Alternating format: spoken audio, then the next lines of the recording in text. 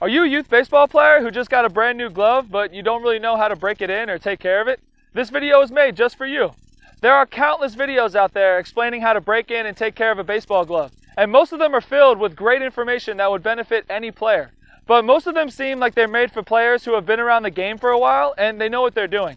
In today's Bullpen Bulletin, we're covering my five tips for breaking in and caring for a glove. This video is made for the beginner player who has never cared for a glove before. We're keeping it simple today and making it easy for you to make your new glove perfect for you.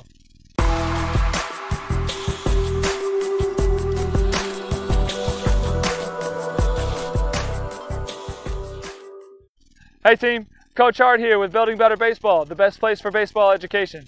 If you're new to the channel and want to learn something new about baseball every week, make sure you hit that red subscribe button and the notification bell so you don't miss a video. Now that you have a new glove, it's time to start looking into other equipment to help your baseball experience become as complete as possible. My free guide for buying new equipment will be perfect for you. It's linked in the description below and covers everything you need to know about what equipment there is in baseball and finding the perfect equipment for you. Make sure you grab it. And if you're a coach watching this and you need some help organizing your practices and making your practices more efficient, I have a free two hour practice plan complete with two practice blueprints linked in the description below that will really help you out. I made it just for you. Now, let's learn about the best things to do to help your baseball glove last a lifetime. My first tip today is the absolute best way to break in a baseball glove is to use it as much as you can. I know this tip sounds like the most obvious tip that anybody could give, but hear me out. I know it sounds obvious, but you'd be surprised at how many young players don't actually do this. As I'm sure you figured out by now, new gloves are so stiff. They're basically a stiff board that's impossible to move. Adults have a hard time squeezing together a brand new glove, which means that young players who still have a lot of growing to do will have a much harder time. Because of the fact that young players can't squeeze the glove together at all, they try all sorts of methods to speed up the process of breaking in the glove. We live in a society that requires instant results, instant gratification, instant everything. So young players will put the glove under their mattress and sleep on it. They'll put it under their pillow and sleep on it. Or they'll sit on it at the dinner table. They'll do all of these things to try and speed up the process when all of these things are just making the glove flat, distorted, and unable to conform to your hand in the exact way that your hand closes inside of it. Breaking in a glove cannot be rushed. I know you want to get into the games and use it right away, but honestly, that's just not going to happen. The best way to break it in is to use it everywhere but games. Play as much catch as you can. Use it in practices. When you have downtime, put it on your hand and throw the ball into it as many times as you can. This is a natural process of breaking in the leather and softening it up for you to use, while also helping the glove conform to your hand and closing the exact way that you like to catch. And what's the added bonus? You get to practice baseball all this time you and your glove are getting to know each other. Putting it under a mattress won't give you this unique imprint of your hand and definitely won't help your game with all the practice you'd miss. Take the time to enjoy breaking in your glove. It's not something that can be rushed. My second tip today is shape it how you want and work it out. This is very much related to tip number one, and it's something you can do when you're not using your glove and breaking it in by practicing. Whenever you have downtime, like you're watching TV or you're sitting on the couch or you're watching your brother and sister's games, you can shape your glove and work it out. This just means bending it in different ways and pounding it with your fist, working it out so it softens up. There are many different ways players like to have their gloves shaped based on what position they play and how they catch the ball. You can shape your glove to match your style of play. Some players who play outfield like to close the glove thumb to pinky because that provides the most coverage when catching the ball. Some players who play infield like to have their fingers and thumbs open so they can field more ground balls that take bad hops and get the ball out quicker after a catch. Some players who pitch like to have their glove curled a little so that no one can see the grips on the pitch they're about to throw. Think about how you want your glove to close and be shaped and use your downtime to work it out and shape it the way you want. This will speed up the process of softening up the leather while creating the shape that you want based on the position that you play. My third tip is to keep it dry. In this tip, I'm specifically talking about rain and very large amounts of water. Simply put, water will ruin your glove. It will still be usable, but water and leather are not a good mix, and the water will severely shorten the life of your glove. If you leave it out in the rain or you drop it in a pool or something, that's just not good for the leather. The most common mistake baseball players make is leaving their glove or their bag with their glove inside out in the rain and having it get soaked. I've made this mistake more than a few times and it's not a good feeling. I had two or three gloves I used up until high school, and they all got rained on at some point, which made them rip and tear much quicker than they should have.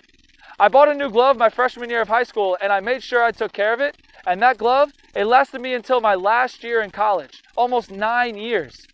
After every game and practice, take care of your glove and make sure you always bring it inside where it can't get rained on. If you do this, your glove will last you a lifetime.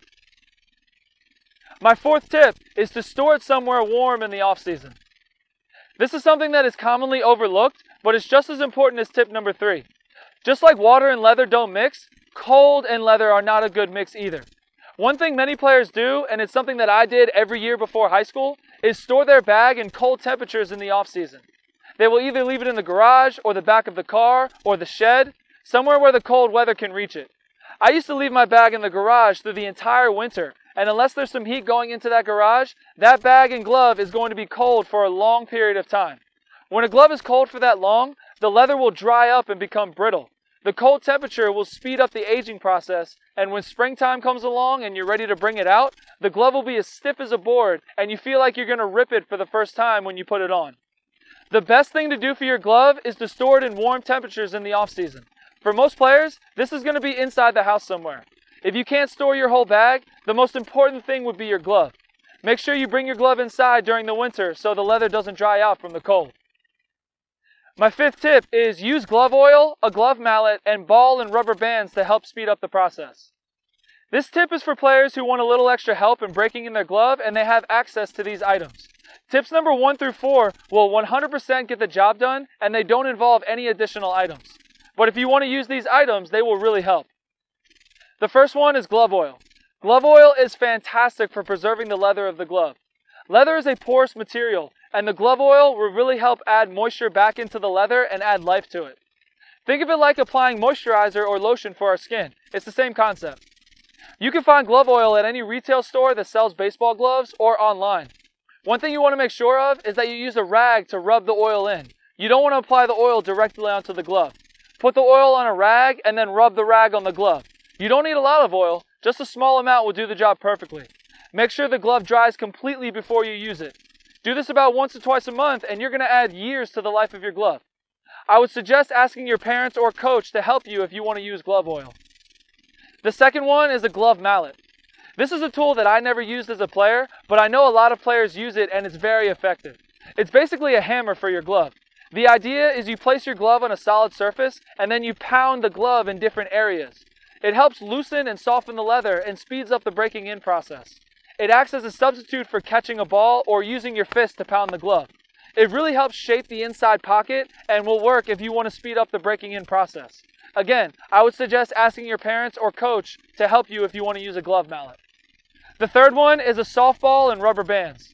This is the last one I'll touch on, and it's something that I used as a young player to help break in my glove and give it shape.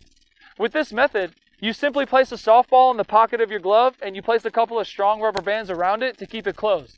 I use a softball because it's bigger than a baseball and it gives the glove a more rounded shape and a bigger pocket.